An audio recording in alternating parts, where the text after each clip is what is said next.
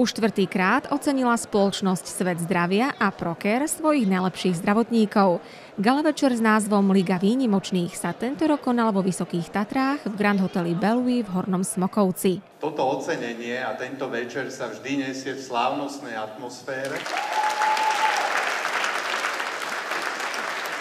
Laureátkou výťazkou kategórii Najlepšia sestra v Lige výnimočných 2018 sa stáva pani doktorka Katarína Košíková.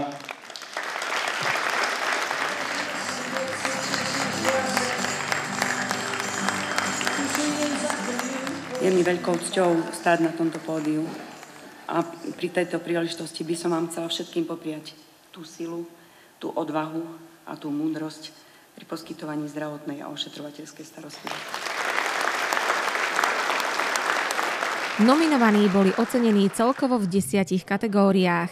A to nie len za prácu, ktorú odviedli, keď boli v službe, ale napríklad aj cestou z dovolenky, za pomoc zraneným po autonehode. Keď bolo treba zafixovať krk golierom, použila synovú maľovanku, zranených ošetrila a rodinu upokojovala. Aj vďaka nej všetko dobre dopadlo. You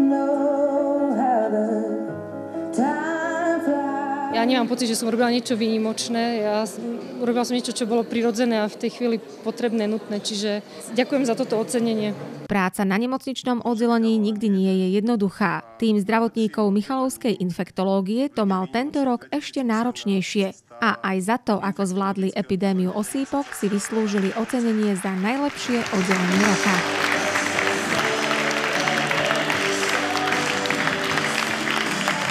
26 rokov svojej kariéry si nepamätám také nadmerné úsilie a je to odvďačenie za to, že sme niečo dobre urobili, takže beriem to ako takú satisfakciu pre ten celý personál. A práve nedostatok personálu bol veľkým problémom, ktorý dokázali vyriešiť na poliklinike Proker Centrál v Bratislave. Tým si vyslúžili ocenenie v kategórii Najlepšia poliklinika.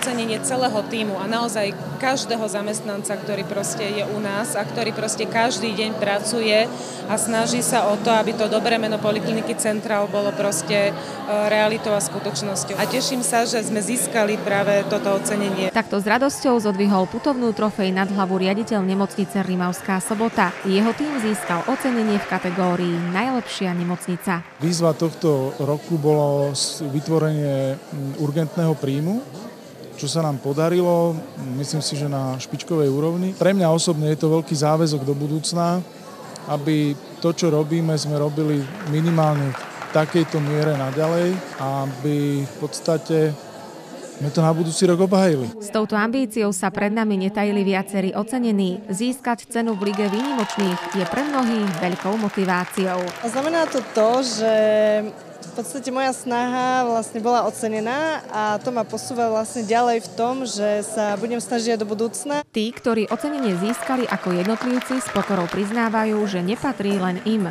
Dôkazom toho je gesto doktorky Dagmar Bodákovej, ktorá si odniesla cenu v kategórii Najlepší lekár. Táto cena patrí nielen mne, ale celému môjmu oddeleniu a pani Vrchnej zvlášť. Ďakujem.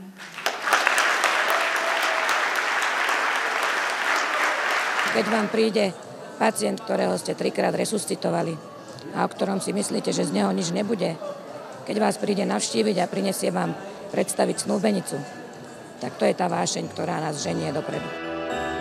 Keď moja ťaž ma ku zemi tlačí, buď moje nádherné nebo, aký ty krásne spíš, ja šetri Každá jedna nominácia za sebou prinášala obrovskú robotu a to je absolútne jedno, či to je oddelenie, najlepší OZP, najlepšia sestra alebo najlepšia nemocnica. Pre každého z týchto ocenení to znamenalo veľa, veľa roboty navyše, veľa snahy navyše, teda naozaj sú úprimne hrdí na každého. Každý z nich je vzorom v tej svojej kategórii.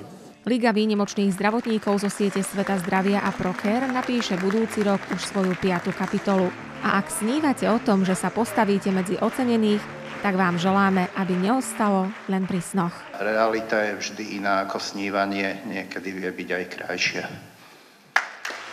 Jeden veľký potles pre Ligy výnimočných 2018.